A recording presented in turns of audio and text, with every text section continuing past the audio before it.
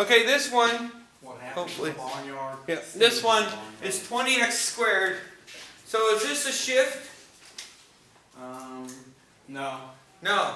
Is this 20x, is it just to the x or is it to the whole function? It's This is a good question right here. to the stretch. It's a stretch, but is this to the x or is it to the whole It's function? the whole function because there's no parentheses. That's right. If there's no parentheses right here, then it's not to just the x. Okay? That's huge. Because if it were just the x, it would be horizontal. Yep. But because it's to the whole function, because technically the parentheses would be here, right? Because the, the, the exponent directly affects what it's next to. Right? So that's x. So it's to the whole function. So now the whole function, meaning the function times, right? Times 20.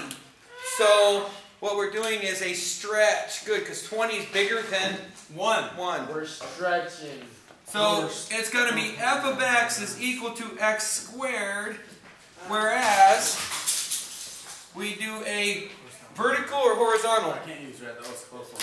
Vertical or horizontal Vertical stretch times to a factor of to a factor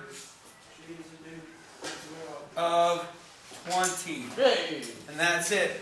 That's the difference. Welcome to the Burger, home of the Good Burger. Can I take